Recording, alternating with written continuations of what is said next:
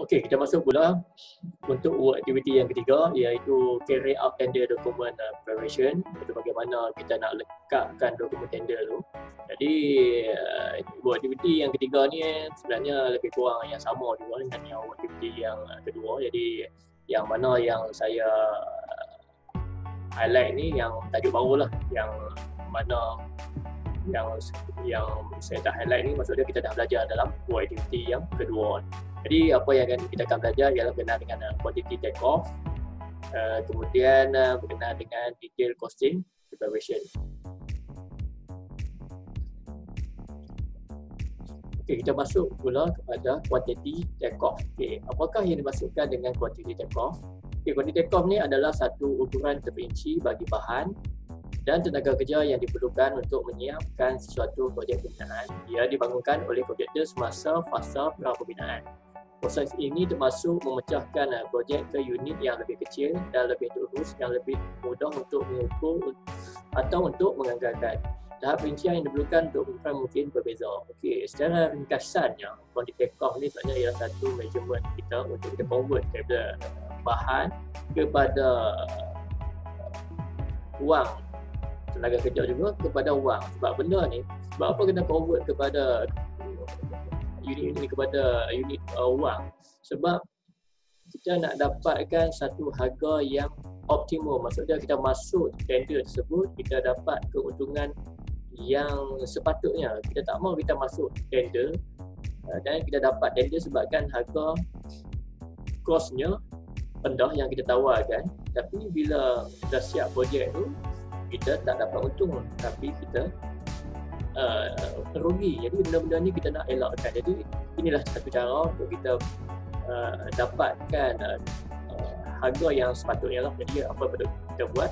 Kita kena pecahkan setiap projek tu ke unit-unit yang lebih kecil. Maksudnya contoh kalau kita buat pemasangan aircon, apakah kerja-kerja kecil dia? Jadi contoh kita nak kena uh, contohnya kita nak beli bahan. Jadi memerlukan uh, cost untuk transportation, kemudian uh, daripada segi kita nak buat uh, kerja-kerja untuk hacking kemudian dia apa kita nak buat kerja pun kerja untuk uh, pemasangan baik apa lepas tu kita nak buat kerja pemasangan kita punya apa untuk uh, kerja-kerja elektrik. Jadi benda tu kita buat sekecil-kecil yang boleh dan kita letak apa yang uh, yang boleh nilai untuk ditukarkan kepada bentuk unit wang Okey, uh, kemudian yang kedua, ukuran ini digunakan untuk memformatkan nilai tawaran tender pada skop pembinaan.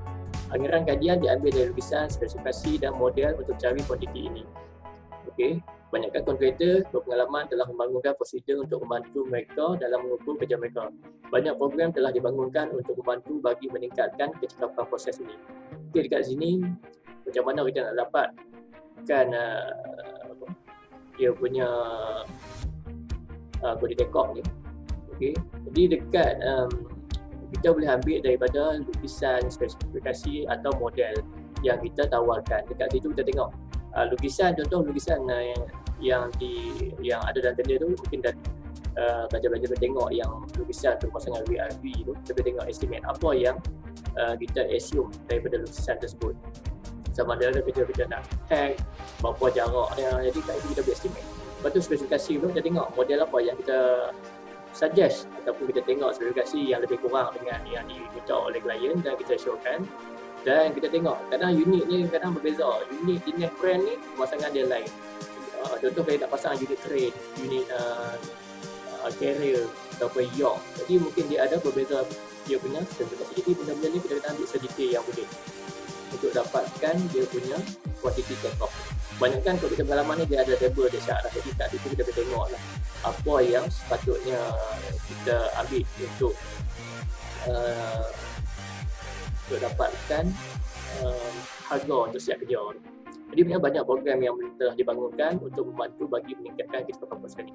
Kat sini mungkin uh, selepas ni pelajar boleh tengok uh, daripada uh, tajuk uh, project planning. Dekat situ pelajar-pelajar akan belajar mengenai dengan uh, Microsoft Project dan dekat situ kita boleh buat detail untuk quality check-off. Okey, itu saja berkenaan dengan quality check-off.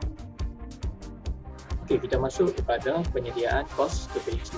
Jadi dekat sini kita tengok ada ada empat prinsip asas penyediaan kos. Iaitu yang pertama ialah uh, kos bahan, kos buruh, kos jentera dan peralatan dan uh, akhir sekali kos keuntungan. Jadi bagi kos bahan, macam mana kita nak dapatkan kos bahan ini iaitu harga asal bahan yang tidak mengambil kira kadar keuntungan, kos pengangkutan dan lain-lain. Maksudnya di sini hanya harga asal bagi bahan tersebut. Kemudian uh, bayaran pengangkutan iaitu bayaran tambahan yang digunakan untuk mengangkat uh, bahan dan kilang ke destinasi tertentu.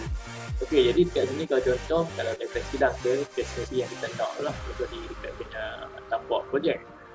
Uh, tapi mungkin uh, kalau tidak SPSC ni mungkin uh, kita perlu ambil daripada uh, kita perlu bekal kan perlu kita perlu bekal uh, peralatan untuk SPSC kita. Kita nak hantar ke mana. Jadi kos-kos ni kena perlu diambil kira kemudian uh, berkenaan kos penyimpanan jadi sekiranya kita perlu simpan uh, kadang-kadang uh, tengok pada kita punya perancangan kadang-kadang kita boleh uh, minta uh, minta order dulu daripada pembekal kemudian dia akan hantar dulu ke, uh, ke tapak projek. Tapi mungkin uh, ada setengah tu kita beli awal. Lepas tu kita simpan dulu di satu tempat uh, untuk simpanan kita. Jadi mungkin dia melibatkan kos jadi kalau ada kos ni kita perlu ambil kira. Kemudian uh, kos pembaziran pun perlu diambil kira. Contohnya pembaziran kalau ekor ni mungkin uh, uh, dari segi uh, penggunaan copper kan. Selalunya kita beli copper tak uh, 100% kita guna sebenarnya mungkin kita uh, hasil daripada kita potong adalah lebihan-lebihan itu mungkin dibuang. Uh, mungkin juga daripada uh, kabel kan. Kabel pun wire-wire yang kabel yang terpotong uh, itu pun adalah salah satu uh, kos bagi pembaziran kemudian berkenaan dengan buruh pula berapakah harga kadar harga yang kita bayar untuk buruh tersebut. Jadi untuk buruh pula kita bayar ikut pada uh, skill bagi pekerja tersebut. Kalau contohnya pekerja pekerja mahir berapa kita perlu bayar? Kalau setakat pekerja biasa berapa kita perlu bayar? Dan juga kalau supervisor berapa perlu kita bayar? Jadi benda-benda ni kita perlu ambil costing dia. Kemudian uh, kita tengoklah berapa lama untuk tempoh uh, kerja yang kita perlu siapkan tu berapa lama kita nak guna uh, pekerja tersebut. Jadi uh, seperti yang uh, boleh lihat ni contohnya untuk unit uh, ini untuk contoh untuk kerja pembinaan lah. jadi untuk contoh kerja pembinaan dia ambil ini dalam jam per meter padu atau jam meter persegi lah tapi untuk HPSC mungkin kita ambil uh, bergantung kepada kerja-kerja perbaikan okey berapa jam dia perlu siapkan kerja perbaikan Kemudian untuk uh, kerja elektrikal berapa jam dia perlu siapkan kerja elektrikal dan juga kerja-kerja lain. Okey, kemudian uh, berkenaan dengan jentera dan peralatan. Jadi dekat sini kalau macam contoh uh, kita perlu uh, sewa crane kan untuk pasang unit yang yang tinggi mungkin. Mungkin kita juga kita perlukan sewaan lori. Uh, jadi kalau ada sewa, uh, sewaan macam ni perlu diambil dalam posting kita.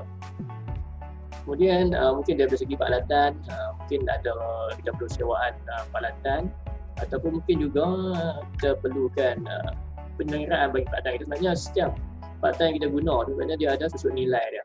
Lepas tu dia mesti ada kos penyelenggaraan tu kita kena ambil sekali. Lepas projek tu agak-agak berapa nilai penyelenggaraan bagi uh, peralatan yang kita guna.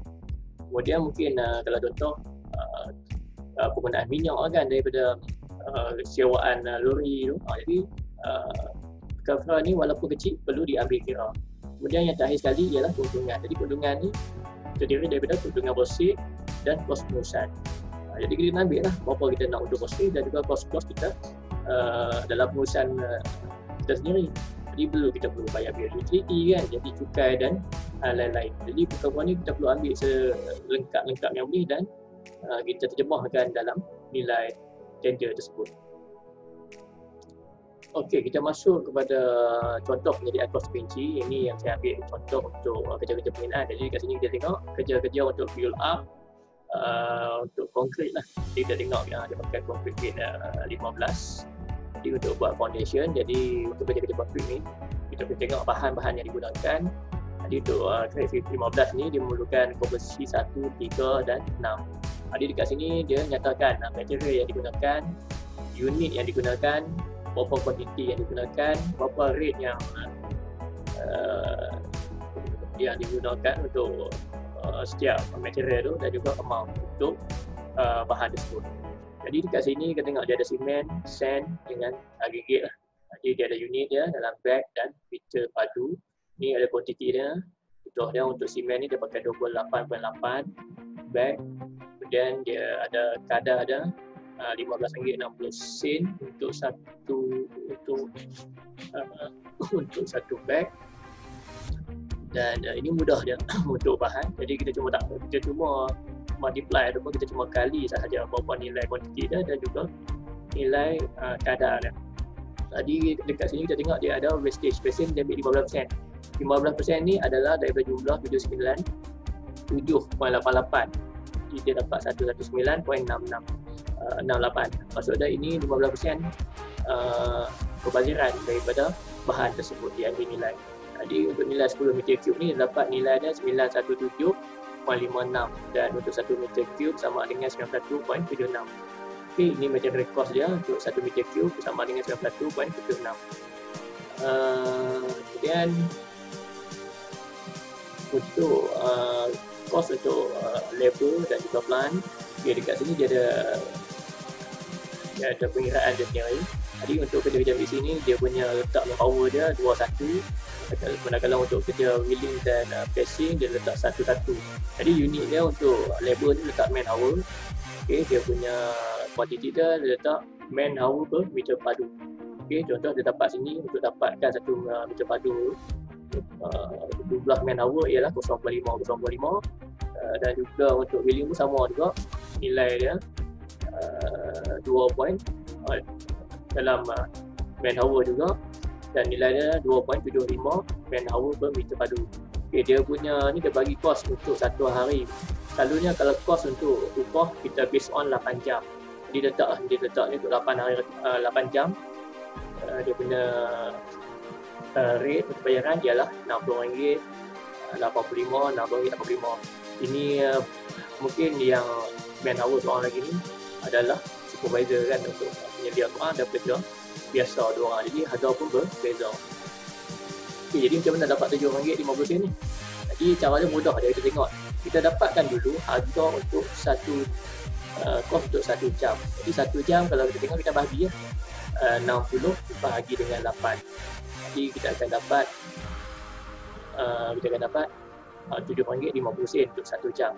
Okay, dekat sini kita tengok kita pakai man hour 1 meter 0.5 dan kita pakai dua orang. Jadi kita kali dah 0.5 kali dengan 2 dapat 1 1 kali dengan RM7.50 untuk satu jam. Jadi dapat nilai dia RM7.50 sama juga yang untuk yang uh, untuk penyelia ni untuk seorang ni nilai dia uh, 0.5 untuk siapkan 1 meter cube tu jadi untuk tempoh uh, kalau kadar untuk satu jam kerja kita bagi ya 85 bahagi dengan uh, 85 bahagi dengan 8 kita dapat lebih kurang uh, 10.62 jadi kita kali 10.62 kali dengan 0.5 dapat nilai RM5.31 sen. Sama juga dengan kerja-kerja billing dan uh, basic jadi kalau kita tengok ni kerja untuk billing dan basic ni dia ambil masa 2.75 man hour untuk 1 meter cube jadi uh, kita kali ya kali dengan 2.75 kali dengan 1 jam cas kerja kali dengan RM7.50 dapat nilai dia RM20.63 sen. Jadi total ni nak ambil labor cost dia dapat nilai dia 62.66.